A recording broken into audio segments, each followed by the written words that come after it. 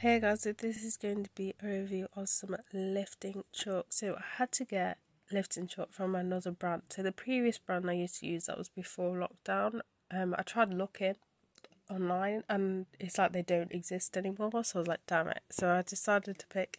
Obviously, I had to pick another one. So I decided to go with um Battlebox's weightlifting chalk. So I got this from Amazon. They do different containers. So they've got this one here. They've got a slightly bigger one, and they've got a massive one, which obviously is kind of like what you'd use to refill your smaller. Um, smaller bottles so first off it comes with this like clip thing which is on incorrectly i don't know because the clip's not big enough but it's just it'd be awkward to use that makes any sense because I think it opens from the bottom.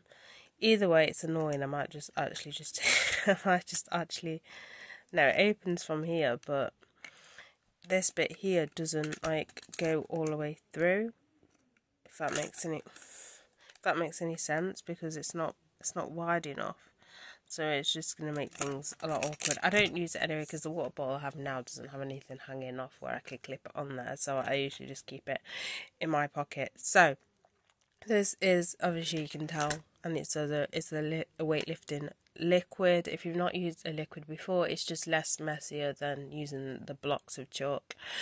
Um, and then again, it's instead of using um weight, uh, weightlifting wraps if you don't want to use it wrist wraps should i say um so first off this smells really strong it has a really strong alcoholic alcohol smell or it reminds me of alcohol um the other one that i had didn't smell of alcohol so i would say this has got a lot of alcohol which kind of makes sense just because you know the the whole purpose of lifting chalk is to help you grip a bar. So if you've got sweaty hands, it's just going to help soak up all the sweat. So it makes sense to why it would have loads of alcohol in it. But yeah, it does. smell. it does.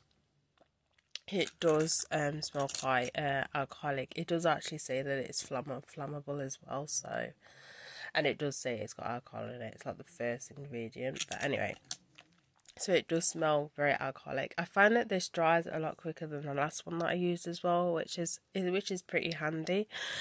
Um, another thing as well is that it's less messy. I know that don't make any sense. I just said liquid chalk isn't that messy, but I find that it doesn't like flake off the hands as much as the other one that I used. Um, that one could be quite flaky, especially if you put too much on. This one you could put a good amount on it, and it doesn't really flake that much. Um, so that's a good thing as well. I find that it does help with my grip and everything like that. Another thing is because it's not flaking as much as my other one, I find that it I don't need to reapply it as many times as I did with the previous one. So I would say this is actually a really good one. Um this is specifically aimed at weightlifting, so that could be the reason. The other one that I had was like not just like specifically aimed at weightlifting, it's kind of like rock climbing and everything like that. But yeah, I do definitely recommend that you give this a go if you want to try um a liquid chalk one. I would say this is quite a good quality one. Um as I said though, it does smell very alcoholic. So if you're sensitive to the smell, you may not like it, but it kind of disappears once it sort of dries. But obviously, once you first squirt, you get that strong smell of alcohol. Um, but yeah, that's it for this video. So bye, guys.